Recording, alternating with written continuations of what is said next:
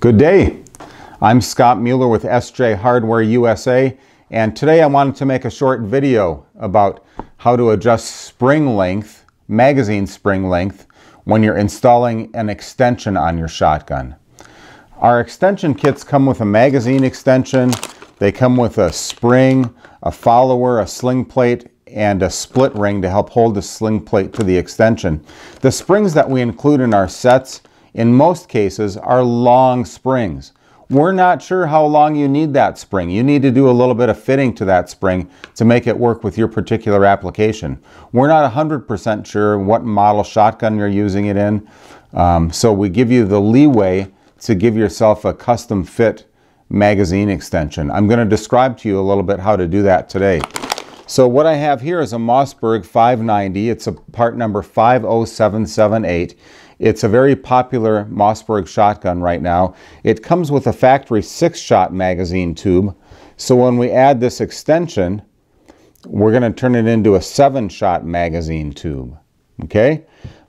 Now, I've done enough installs on this shotgun to know that a good length to cut the spring at is 23 inches. So you just need to take a tape measure, measure out 23 inches, and then cut the spring using a wire cutter, a little side cutter wire cutter. Then what I like to do is take a, this happens to be a channel lock pliers, I like to bend the tip down of the cut and then I grab it like this and then kind of curl it inward a little bit to give more of a finished end uh, on the end that you cut. Now the springs we're packaging right now are 45 inches long. So you essentially get two springs you could get two springs out of the one that's in this package. You're basically cutting it almost in the middle. But be sure to uh, go ahead and measure and uh, give yourself 23 inches on the spring, okay? Then we're gonna put the follower in the tube. There's already a follower in this shotgun tube. We're gonna run the magazine spring down here.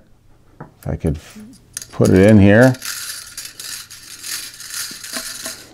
Then we're gonna grab the extension capture the end of the spring with the extension and get it started on the magazine tube.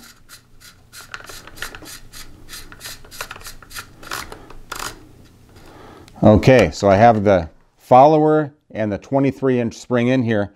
Now I'm going to test the capacity with these A-Zoom snap caps. These are um, pr uh, proving cartridges to make sure you get the capacity you need. You should always be using some snap caps like this to test what you're doing to the shotgun. You shouldn't use live ammunition for this part. So use these snap caps, very important. So let's see if I can get seven in there. I got one, two, three, four, five, six, and seven. And the seventh one, you got to push it in there a little bit because the spring has to nest. But yeah, I got seven in there and there's probably a quarter inch of movement in there. So I can move the stack of shells now back and forth about a quarter inch. So it's I'm at full capacity. Okay, then we could put one in the chamber by pressing the release button and putting one in the chamber. And then if you wanted to put another one in there, you, you could put this in here and then you're up to a total of capacity of eight in this shotgun. Okay, so, and then you would want to action cycle this and test this to make sure all the rounds went through the action just fine. Um, so again, I know with this shotgun, this model, 23 inches is a good length. Um, other shotguns, you're going to have to vary it. For example, if you buy an extension for a Remington 870, a plus one, they only have a magazine tube from the factory that holds four. So when you put a plus one on there, you're getting it only to go up to five. And you're going to need a spring much shorter than 23 inches for that particular application. So again, you're going to have to try it and then prove it using these uh, snap caps to see if it works well. Um, if, if you can't quite get to full capacity, then you're going to have to remove the spring and maybe snip off three more coils. Snip off three more coils of that spring and then try it again. But you have to kind of go through a process um, to make it fit. Um, sometimes people contact me as well and say that they can get full capacity with the snap caps, but they can't get full capacity with the shells they're using. And that's because many shells are different lengths as they're made in the factory. And I got some here to show you. Um, I measured all of them. So we're going to start with these first two. These are Rio buckshot, Rio brand buckshot. And when they're crimped like this, they have a, a roll crimp on them. They're two and a half inches long, which is very long. This is the longest buckshot shell I've measured, two and a half inches. The snap caps are only 2 and 5 16 inches, 5 16th of an inch long. So these are about an eighth of an inch longer than that.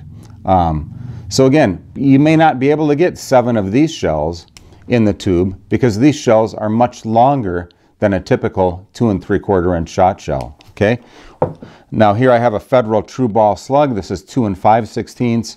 A Brennecke KO slug, two and five sixteenths. We got a Remington Slugger rifled slug, two and five sixteenths. We got some Federal double-aught buck, up some premium buckshot from Federal. These are actually two and three eighths of an inch long. Uh, this is Remington buckshot, I get back to two and five sixteenths. And then this is my favorite buckshot load. It's a Fiocchi plated low recoil buckshot, two and five sixteenths as well.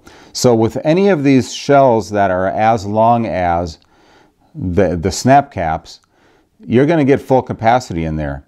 You would not be getting full capacity with those Rio shells. These are just way outside of what's considered normal. And uh, just as a shotgun user, you have to be aware that all shells are not the same length and you may get some varied capacity. But if you fit the spring correctly, you're going to be able to get full capacity with most shells. So I just wanted to explain that to you. So if you have any questions, go ahead and give me a call. Um, send me an email at scott at sjhardware.us. I'll be happy to answer that. But again, um, we build the best extensions in the business, and I appreciate you watching. Thank you.